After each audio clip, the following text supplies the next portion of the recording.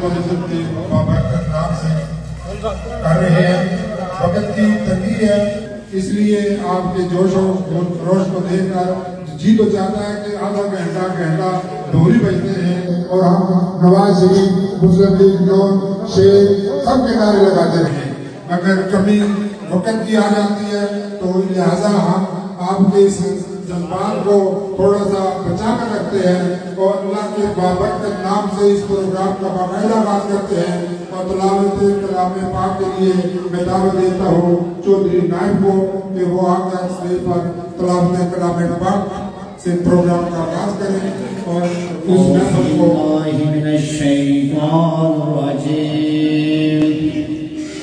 बिस्मिल्लाहिर्रहमानिर्रहीम। अलम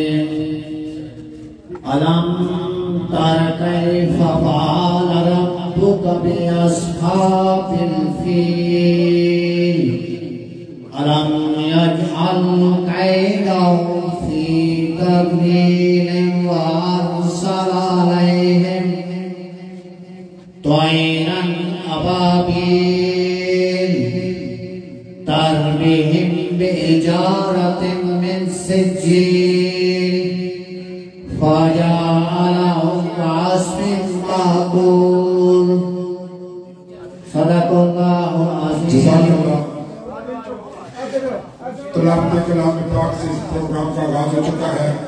जैसा कि मैंने आपको पहले बताया कि वक्त की तंगी है उस तंगी को मलूज खातर रखते हुए हम इस प्रोग्राम को तकरीबन कोशिश करेंगे कि स्टार्ट करें।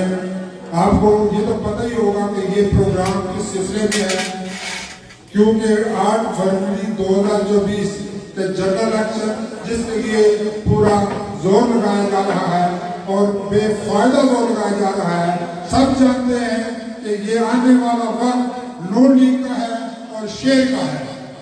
और ये जो आवाम बैठी हुई है, ये जानती है कि इस हल्के से मुस्लिम लीग नून के जो पैनल के बने बने हुए थे वाइस चेयरमैन अजय कुमार डार और उसके साथ जनरल कौंसल चौधरी सगीर उन्होंने अपने हल्के में वो काम करवाए जो पिछले 20-25 साल से कोई नहीं करवा सका। और मैं शुक्रगुजार हूँ अपने उस क्यादत का जिन्होंने इन पर नज़र रखी और इस नज़र को उन्होंने धोखा भी दिया, बल्कि इतने फंड दिए कि हमारे कल अपने कबीली की तमाम गलियाँ, उनकी सड़कें वो उन्होंने नहीं बनाई और कंक्रीट करवाई। और वो वादा जो आपको पता है, आप उस जलसे में मौजूद होंगे कि चिट्टी राजगाह में खड़े होकर नज़र इकबाल ने नारा लगाया था कि हमारे दौर में इंशाल्लाह कारपेट सड़कें बनेगी और उन्होंने अपने वो वादा पूरा किया। तो मैं अपने इस प्रोग्राम के लिए, जो हमारे इस प्रोग्राम के रूह रुआ है, हमारे दूल्हा है, चौधरी खादम साहब को, उनका शुक्रगुजार हूँ कि वो आज हमारी महफिल में आए और इस महफिल को चार चार लगाए और इस प्रोग्राम के मेजबान चौधरी गुलाम बहादुर साहब, जो हमारे इसका अपने प्रोग्राम के रूह रुआ है, उनको मैं दावत दूँगा कि वो अपने खिलाफ का आज़ाद करें।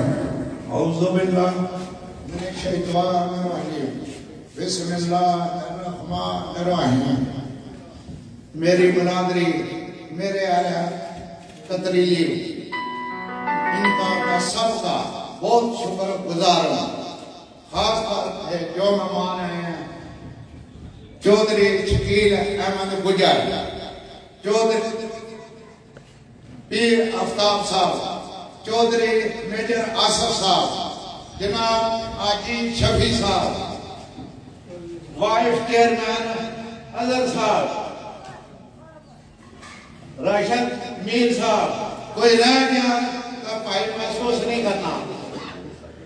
तो काला गुजरा गुजरपुर से चौधरी नदीम साहब, सबका काउंसलर है।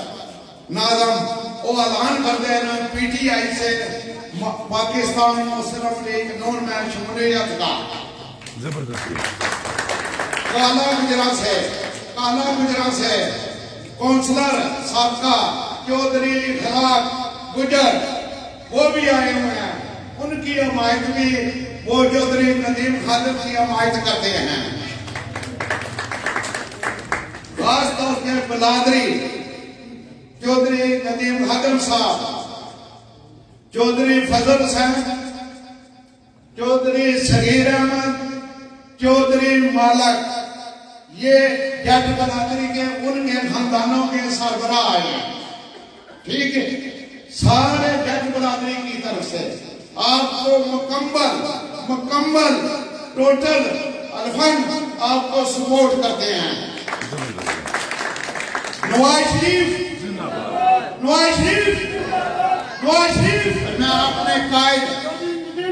अपने खतर की हवाले से इनको आने की ज़रूरत ही नहीं थी। ये वफा कर दे ये वफा कर दे इनको आने की ज़रूरत नहीं थी। उनकी खिदमत याद कर दे बाबे खतर की इस गाँव में आज से साठ साल पहले खिदमत है। ये मेरा छोटा भाई है, चौधरी नदीम खादम। हमारी सर आँखों पर ये मेरी बरादरी की मजबूरी थी कि नदीम खादम इधर आए। तो वो आ गए हैं। चौधरी नदीम खादम, चौधरी नदीम खादम। टाइम की कमी की वजह से फिर आपसे कोई याद आऊँगी चौधरी सिकंदर चौधरी सिकंदर अय्यर चौधरी सिकंदर है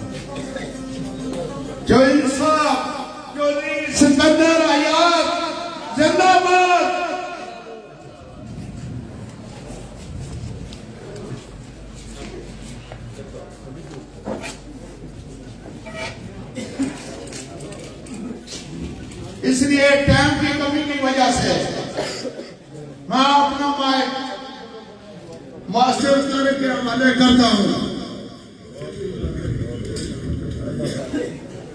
वो वक्त का खेल। एक बात रह थी मेरे इस गाँव में कोई मुखालफ नहीं है। सारे मेरे साथ हैं। एक ही बार मुखालफ है। एक ही है मुखालफ। ठीक है? उधर चौधरी नदीम खादम को दावत उन्होंने दी है मैं किसी को नहीं रोकता। उन्होंने उन्होंने कब्जा भी क्या किया? मेरा पैगाम बंदा लेकर गया, उन्होंने बदतमीजी की है।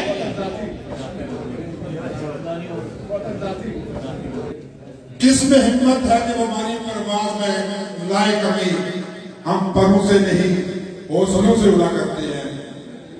तो जैसे कि आपको बार बार यही कहा जा रहा है कि वक्त की कमी है तो इस कमी को पूरा करने के लिए आया किए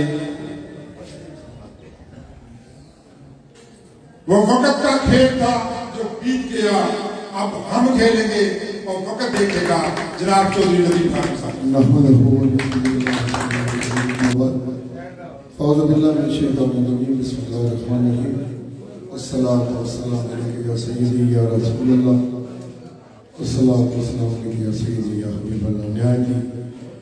काबिल तराम स्टेज पर बैठे हुए बुज़ुर्गों मौजूद हस्तियाँ पंडाल के अंदर तशरीफ़ फरमा, बुज़ुर्ग दोस्त भाई सबको वालेकुम सबसे पहले मैं अपने मेज़बान चौधरी गुलाम हैदर साहब का और सईद कौशल साहब इनकी पूरी फैमिली और उसके बाद अहलिया ने कंत्रीली जो लोग यहाँ पे मौजूद हैं, उनका शुक्रिया अदा करता हूँ कि आपने यहाँ पे हमें बुला के इस कॉर्नर मीटिंग का एहतमाम किया। वो मेरे पास अल्फाज नहीं कि मैं आपका किस तरह शुक्रिया अदा करूँ। और आज का इलेक्शन जो है, आपको पता है कि ये इलेक्शन एक ही बात पे हम लड़ रहे हैं, किसी के खिलाफ। ना कोई स्टेज पे बात होती है, चाहे वो मेरे सियासी मुखालिफ हैं। हालाँकि बहुत सारी बातें मैं कर सकता हूँ, मगर मैं नहीं कर रहा।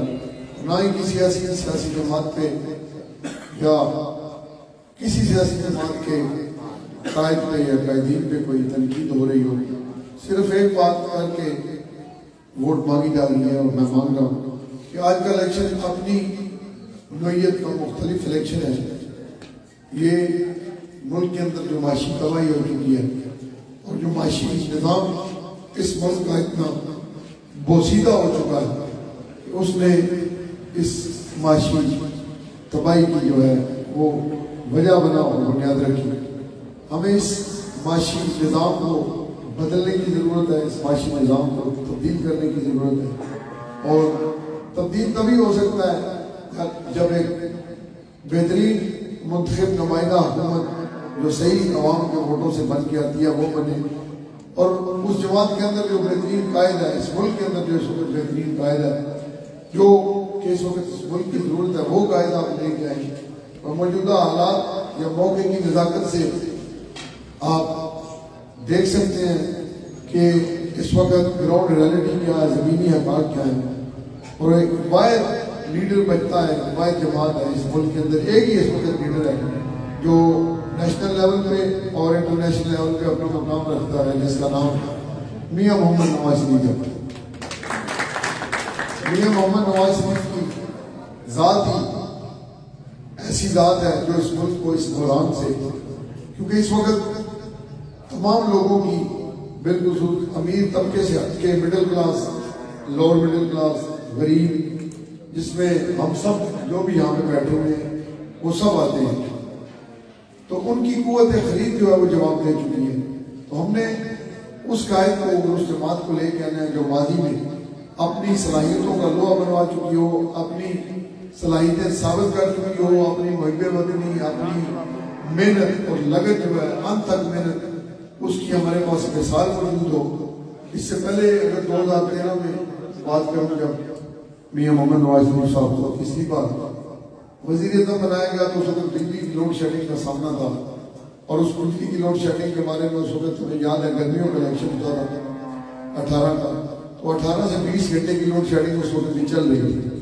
और ये बात जबान आम थी कि ये लोड शेडिंग बारह से पंद्रह साल में खत्म होगी अगर मियाँ मोहम्मद नवाज़ शरीफ साहब ने हालाँकि उन्हें अपना टेन्योर भी पूरा ना करने दिया गया हसब रवायत हसब मामूल जिस तरह उनके साथ दो दफ़ा पहले हुआ, तीसरी दफ़ा भी उसी तरह हुआ। अदालत ने उन्हें घर भिजवा दिया, उसके पीछे एक बहुत बड़ी साजिश थी उस पर बोलूँगा तो आधा घंटा बोल जाऊँगा। तो उन्होंने साबित किया, तीन साल के अंदर उस लोड शेडिंग के ऊपर काबू पा के और उनकी टीम ने ये साबित किया। इन ताला, अब भी वो इस जो महँगाई की चक्की में लोग आवाम मैं, आप सब पिस रहे हैं, उससे भी मोहम्मद नवाज़ शरीफ साहब आपको निकालेंगे। और मैं वादा करता हूँ और उम्मीद भी रखता हूँ कि हमारी जमात ये माशी कमाई को ख़त्म करेगी। और मियाँ साहब के ऊपर हमें उम्मीद है कि उनके अंदर इतनी सलाहियतें हैं, इतनी काबिलियत है, उनके पास इतनी अच्छी टीम है तो वो इसे बेहतर करेंगे। बाकी मैंने बहुत सारी जगहों पे जाना है। मैं मशहूर हूँ एक तरफ़ फिर।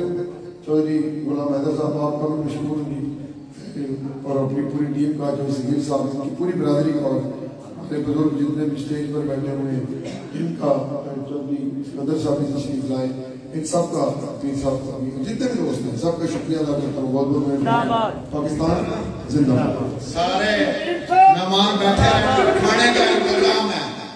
का इंतजाम है खाना खा के जाना ठीक है